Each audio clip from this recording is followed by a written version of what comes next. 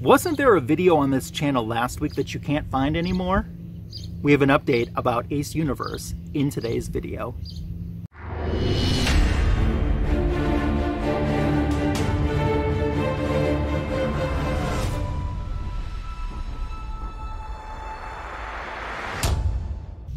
Welcome back to my YouTube channel. As you can tell, we're on location today. I thought it might be fun to come to you from the banks of the Mississippi River and give you an update on a video that I had posted last Tuesday, June 1st here on my channel, my dealings with Ace Universe. That's what we're going to discuss in today's video. Before we get started, if you're new to my channel and you haven't subscribed yet, please take this opportunity to do so. I'm closing in on 500 subscribers, which is awesome, and I couldn't do this without you, and as I always say, nor would I want to. So please click that subscribe button if you haven't yet. Also, you can share this video and my channel, that's appreciated. Give this video a thumbs up and your comments below are always appreciated, encouraged, and welcomed. So maybe you saw my video that I posted last Tuesday, June 1st on my YouTube channel. It was about my dealings with Ace Universe. Essentially what happened was I had ordered some books from them. They arrived damaged. They said they're going to replace them for me.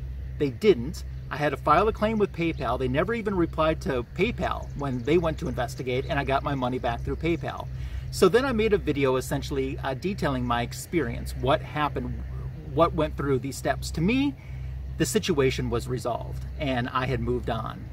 Uh, I did, however, hear from Ace Universe uh, just a few short hours after posting my video, and that's what I want to talk about in today's video. So a little bit of an update for you. Uh, I posted the video, uh, I think 7 a.m. Central, uh, by just before 1.30. Uh, Ace had already made an effort to contact me. My video was only at 40 some views, which, you know, let's face it, that isn't a whole lot you know, my channel isn't even at 500 subscribers yet, although I have, you know, 480 some of the best subscribers in the world.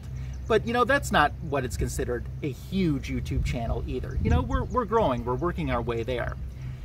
But Ace did reach out to me and they wanted to talk to me on the phone, and they made several attempts in several different forums to reach out to me.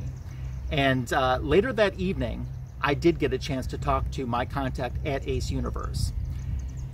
And I know exactly what you're thinking because I think it's the exact same thing that I was thinking too.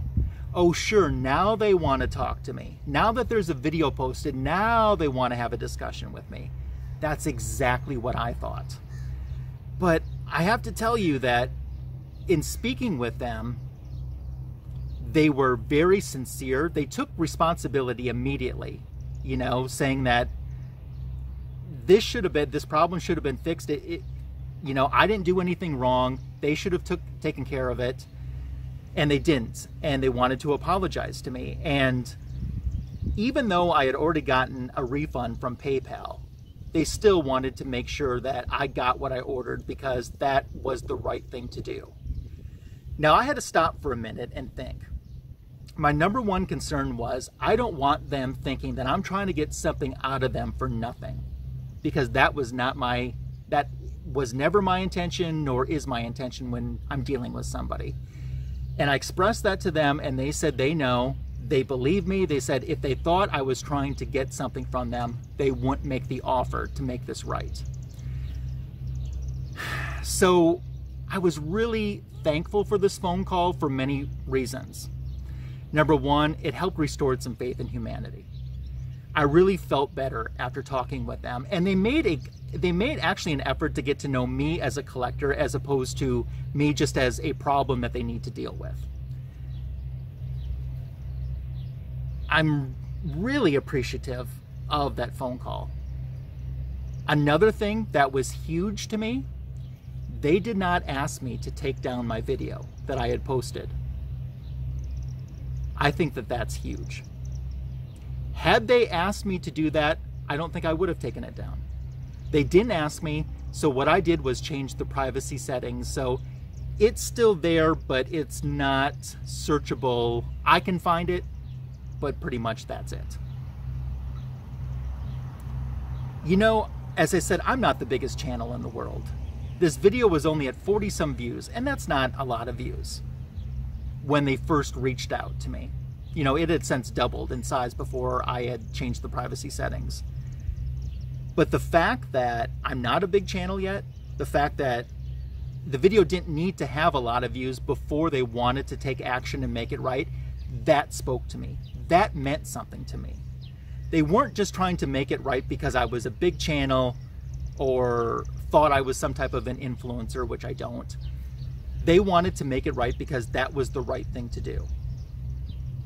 My contact at Ace was kind and professional, and as I said, made an effort to get to know me. You know, we discussed shipping too in general, and I mean, is it going to change the way that they ship books? I don't know that for, for a fact. And quite honestly, I mean, the way they ship books, that's their business. Do I think that they're definitely going to take another look at the way that they ship things or possibly ship them better in the future to other customers? Yeah, I think if that conversation hasn't taken place at Ace already, that it certainly will. You know, uh, one person, Jeff Schultz, as a matter of fact, left a comment below uh, the original video, and he said, you know, all of this could have been avoided by using a 50 cent Gemini mailer, which I couldn't agree more. I'm going to give Ace the benefit of the doubt that, you know, not only when I order from them in the future, but when someone else orders from them in the future, that they're going to make sure that, that the books are as protected as they can be. Because after all, once we place that order, those are our books that they're dealing with. Um, ultimately, though, as I said, it's their decision as to how they're going to run their company. But I really have faith that they're, if they haven't, they're taking another look at the shipping, the way that they ship right now, and protecting the books. They have some great books. So, and speaking of, um, I now have mint copies of this beautiful Wonder Woman Volume 2, issue number 7, uh, the fluorescent Jenny Frison cover, which is exclusive to Ace. I now have completely mint copies, which is what I wanted the entire time. Uh, being such a huge uh, comic book and Wonder Woman fan like I am, and a Jenny Frison fan too. I mean, this check marks so many boxes for me it, of what I wanted for my collection, and I didn't want damaged ones. Uh, I even said that initially when I contacted them. I said I would prefer a replacement as opposed to getting my money back. They took care of me. They didn't have to. You know, they easily could have said, um, you got your money back, you're taken care of, this is all over with. But my order's not the biggest order, you know, that Ace Universe deals with. It's it's really a small order when you stop and think about it. But th that didn't matter to them. It mattered to them that it was a customer that, and I'm going to say it, I, I, I feel it's a one-off. It's a one-off that something went wrong, and they wanted to make it right. In this world, we need a lot more forgiveness, and to me, forgiveness also involves forgive, forget, and move on. Would I order from Ace Universe again? I would. Uh, as a matter of fact, I'm already eyeing some things on their website. Yeah, I would give them another shot for sure. Now, if I got damaged products again, I probably wouldn't be as patient as I was this first time around. But I definitely feel that, that they deserve the benefit of the doubt. I appreciate them for reaching out as you know, I truly believe that once they saw this video and realized what happened, they're like, yes, we need to fix this. We need to take care of this. It got taken care of. My point was made. I'm very happy. Um, they did not ask me to take the video down. They did not ask me to make a new video correcting or updating or, or anything. I'm doing this of my own free choosing and my own free will, which is another reason why I changed the settings on the original video because I just thought they're reaching out and they're making an effort to make this better. And they don't have to at this point, but they are. And it's not because I have a huge subscriber count, a huge video count. They just did it because it's the right thing to do. So in my mind, that evening I changed the settings to the original video because I thought that was the right thing to do. If you're making an effort, I'm going to meet you and make an effort back. Need more forgiveness in this world. So um, I have accepted their apology. I am loving my new mint copies of my books that I have. Um, I'm beyond happy with this, and uh, it hasn't. And and I think that what's even more awesome is it hasn't soured me on my experience with dealing with Ace in the future. So that's where we stand with that situation. And I wanted to make sure that you had an update direct from me so you knew exactly what was going on. So while I've got you here, I want to update you a little bit on what's coming up with my channel. So, I know that I had mentioned in that video originally that I've got um, some comic book additions to show you, which I do. I've got quite a few as a matter of fact, uh, including one that has a Mexican Wonder Woman variant that maybe you've never seen before. So that video, I was planning that to be my next video. I'm not sure if that's going to be right now, but it is coming in the very near future for sure. I have a video of um, a haul from Half Price Books.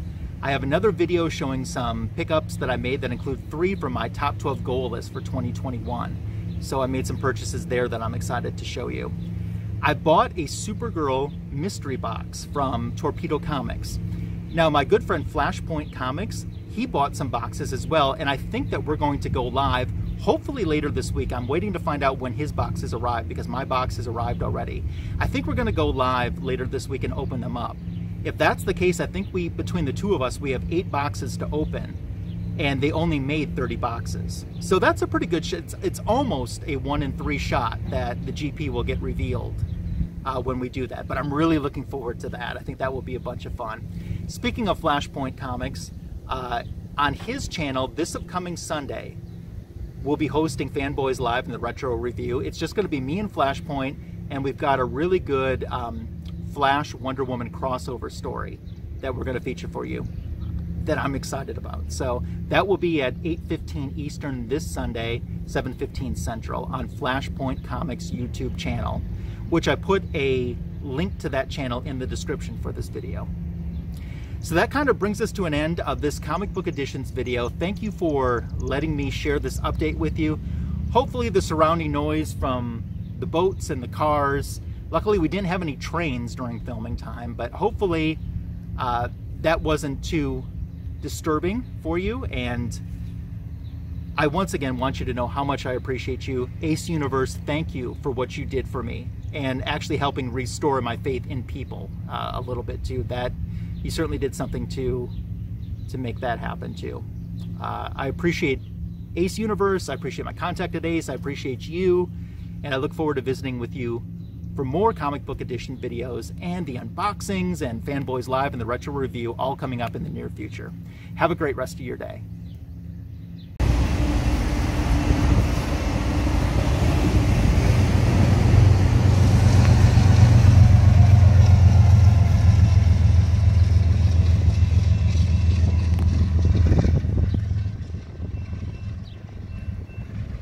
There goes the train.